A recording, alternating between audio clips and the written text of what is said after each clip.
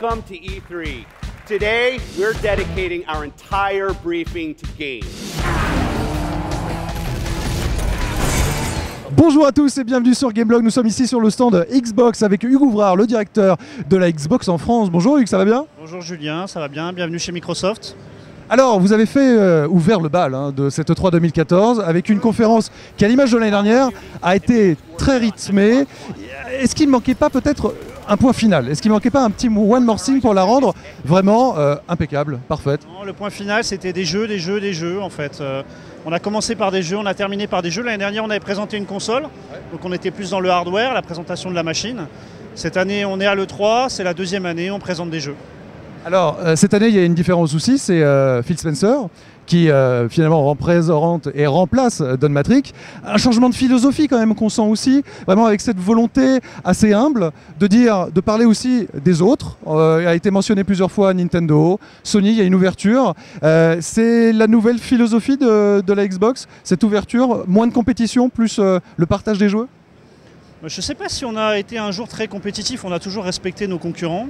Euh, Phil Spencer, c'est euh, l'image du retour du focus de, Microsoft sur les jeux en cette deuxième année. Il n'y a pas de notion de euh, on, change, on devient plus humble. Je crois qu'on a toujours été humble chez Microsoft.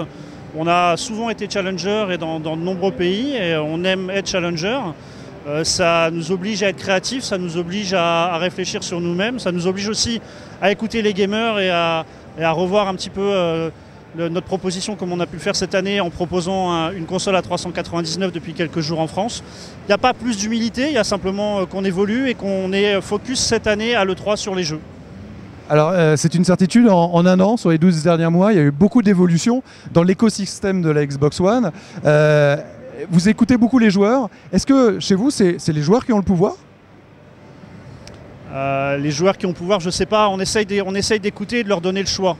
Euh, l'année dernière, on avait euh, sorti beaucoup d'exclusivités sur la console. On s'est rendu compte que c'était une chose qui était importante pour les, joueurs.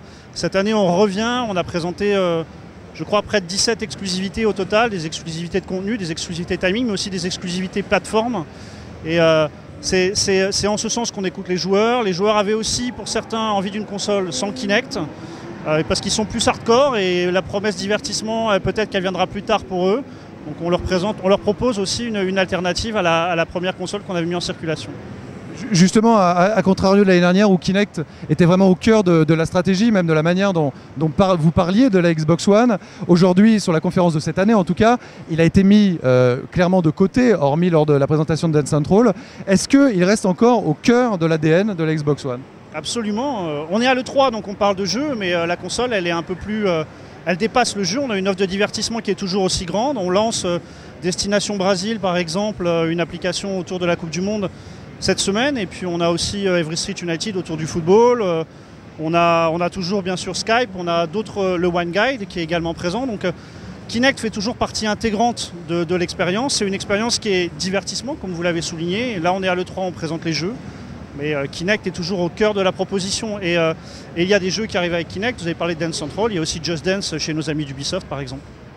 On voit qu'au fil des années, il y a encore une petite décennie, il y avait énormément d'exclusivités. Aujourd'hui, il y a quelques exclusivités et beaucoup d'exclusivités, on va dire, temporaires sur euh, des bénéfices comme avec Call of Duty sur Xbox One, qui permettra d'avoir des maps, des DLC en avant-première sur, sur Xbox One. Est-ce que c'est véritablement ça qui va se généraliser? Est-ce que la course, elle n'est plus vraiment à l'exclusivité de jeu alors je ne peux pas répondre pour Sony, mais je peux répondre pour Microsoft. Nous, on se positionne sur les deux choses. On a à la fois des exclusivités de contenu ou de timing avec des éditeurs tiers, mais on est aussi très très vigilant aux exclusivités plateformes. Hein. On en avait présenté euh, trois l'année dernière. On en présente quatre cette année. Euh, Forza, Halo Master Chief euh, Edition, Sunset, un jeu complètement barré, et puis aussi Ori, qui est, très intéressant, très joli, onirique et très sympathique, qui amène de la fraîcheur. Donc bien sûr qu'il y a toujours une une bataille, une compétition sur les éditeurs tiers, mais il ne faut pas oublier que le, cœur du réacteur, c'est les exclusivités plateformes. Cette année, on en présente 4. Je crois qu'on est euh, le constructeur qui présente le plus d'exclusivités sur le salon. Attention, vous allez repartir dans la compétition là. Euh, justement, euh, les jeux indépendants, ça a été l'une des, véritables forces de la Xbox 360. ça va être aussi à côté du cœur du réacteur, des, gros jeux, des gros, gros AAA sur l'expérience Xbox One. Ça commence avec Ori. Hein. Ça commence avec Ori, ça commence aussi surtout avec le programme ID at Xbox, Avec, euh, avec la Xbox One, vous n'avez plus besoin d'avoir un kit de développement pour développer des jeux indépendants. Donc vous achetez une, console dans, le, dans la distribution, vous pouvez commencer à développer avec, euh, avec vos amis, avec, euh, avec d'autres personnes. Donc l'accès à la console est beaucoup plus simple, l'accès à la commercialisation entre guillemets du jeu, la diffusion du jeu est beaucoup plus simple aussi parce qu'on a un Xbox Live qui fonctionne très très bien. Pour moi, c'est un vent de fraîcheur qui arrive euh, sur la console. Ça vient compléter une offre. C'est quelque chose qui est nouveau hein, sur le, au lancement de la, Xbox 360. On avait, et de cette génération, d'ailleurs la génération 7, on avait moins de jeux indépendants parce que les freins étaient beaucoup plus importants pour rentrer dans le- dans l'écosystème de développement. Là, les freins sont, sont levés.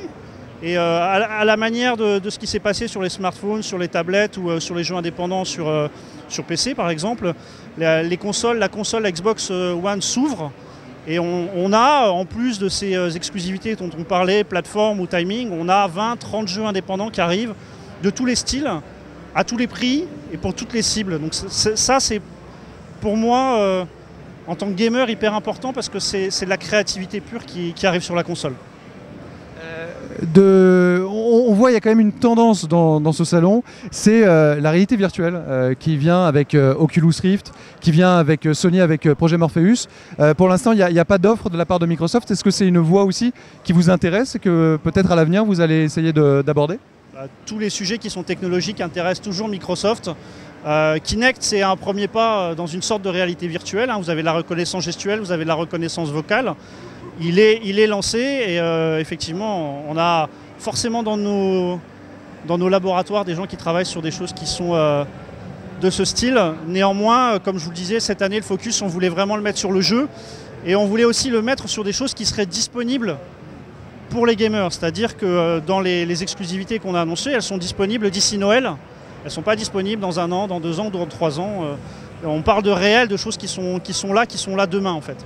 Alors justement, bah, si on revient à cette conférence et aux choses qui seront disponibles fin 2014, il y a la bêta d'Halo 5. Alors Halo 5, c'est euh, très clairement le, le flagship, le port d'étendard de, la marque Xbox.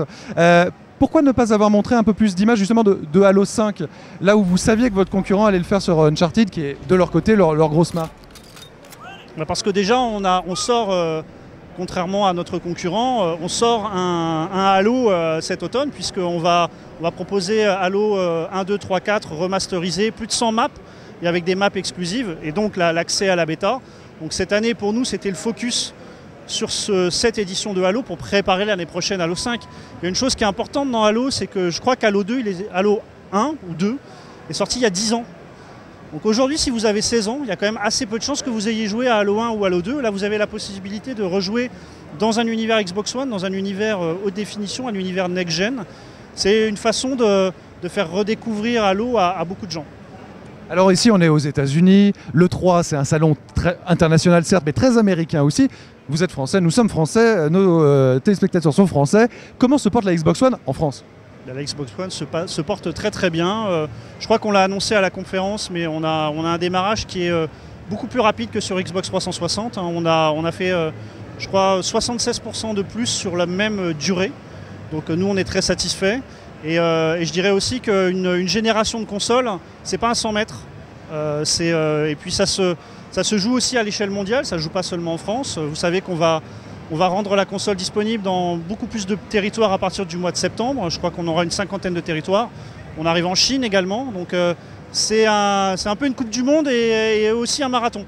C'est pas juste un 100 mètres qui se déroule en France.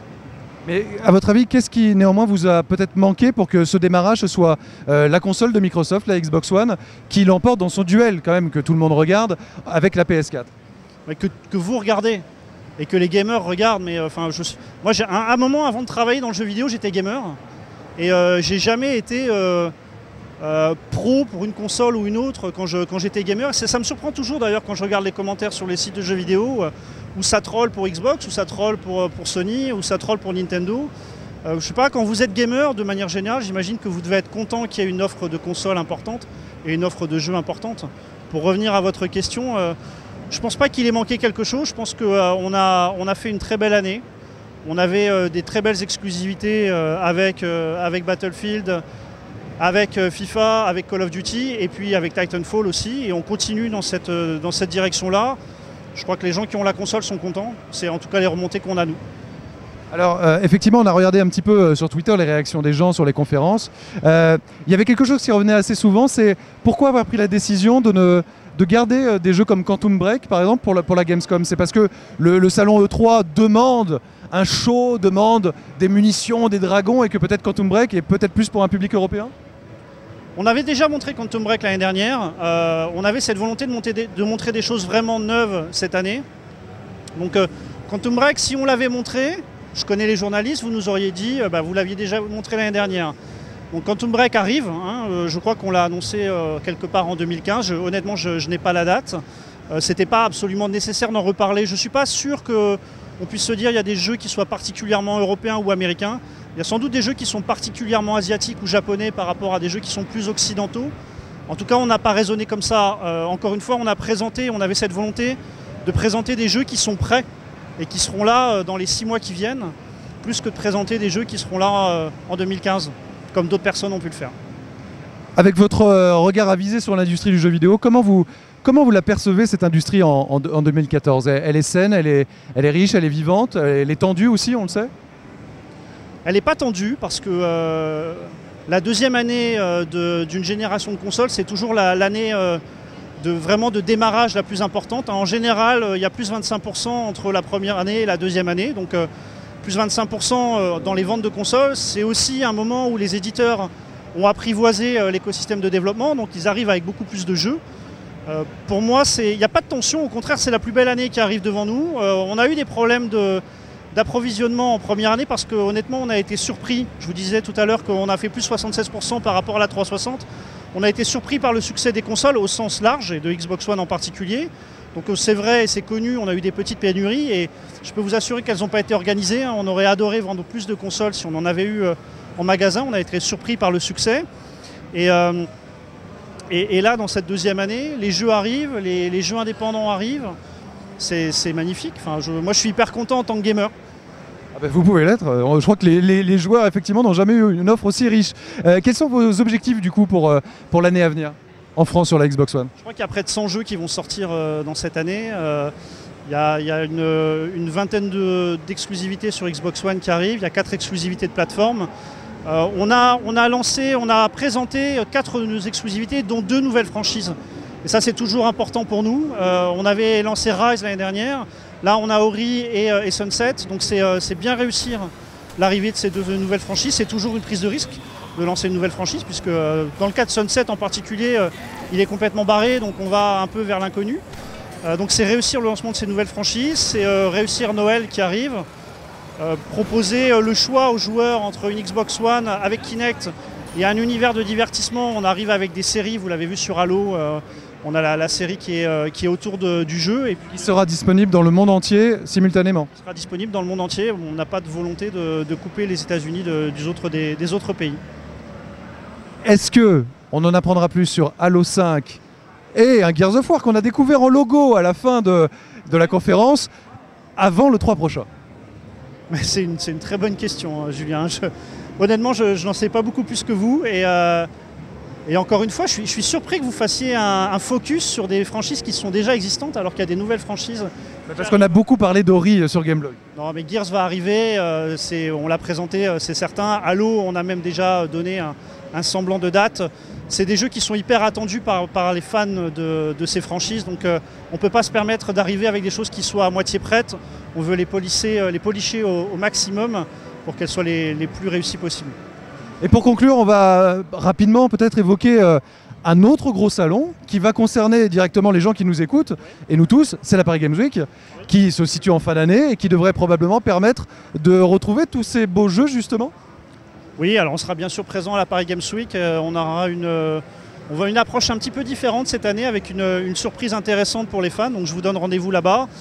Euh, Forza sera déjà sorti. Je crois que ce sera la sortie de, Sunset Overdrive ou juste après. Donc ce sera aussi l'occasion de, recueillir du feedback de la part des, gamers qu'on rencontrera là-bas. On a toujours beaucoup de plaisir à, retrouver les gamers. C'est un peu différent de l'E3, la Paris Games Week. On circule mal à l'E3, mais à la Paris Games Week, ça n'a rien à voir. Je crois qu'on attend près de 300 000 visiteurs cette année, ce qui est peut-être 5 ou 6 fois plus que l'E3. L'E3, on découvre les jeux. Il y a un public qui est très professionnel, beaucoup de journalistes, beaucoup d'acheteurs. La Paris Games Week, c'est la fête des fans. Euh, c'est un moment qu'on aime beaucoup, qui est euh, en général euh, éreintant pour nous, mais très apprécié des équipes et apprécié des gamers, je crois. Et puisque vous êtes joueur aussi, Hugues, c'est quoi votre jeu du salon? Euh, Est-ce que j'ai euh, est-ce que j'ai le droit de choisir deux jeux Euh, Je vais choisir. je pense qu'il y a un jeu Microsoft que j'attends beaucoup, c'est Ori. C'est ce- cette sorte de Metroidvania un peu onirique, magique, qui, me, donne très envie de jouer. Encore une fois, c'est un vent de créativité qui est intéressant. Et puis, et puis j'ai passé pas mal de temps sur le stand de nos amis de- d'Ubisoft à jouer à The Division et à Assassin. Je les trouve très intéressants euh, tous les deux. Assassin arrive plus tôt, il est à Paris. euh, si vous avez envie de faire du tourisme dans Paris au XVIIIe siècle, j'ai même envie de vous dire, le gameplay on le connaît, il est forcément bien. Mais si vous avez envie de faire du, du tourisme dans Paris au XVIIIe, vous allez pouvoir passer des heures à, à regarder ça. Euh, Ce qui tombe bien, c'est que c'est en partenariat avec Microsoft. En partenariat avec Microsoft, c'est vrai qu'il y aura des, des exclusivités euh, peut-être temporaires sur Assassin's Creed et The Division? Il y aura des, des surprises euh, très intéressantes euh, autour d'Assassin au moment de la sortie en France. Eh ben écoutez, euh, Hugues Ouvrard, merci beaucoup. On se retrouve euh, très vite, euh, toujours sur gameblog.fr et sur Twitter. N'oubliez pas avec le hashtag E3Gameblog pour découvrir les coulisses du salon. À très vite. Merci Hugues. The lineup is diverse, huge new IP, independent games, and my old favorites.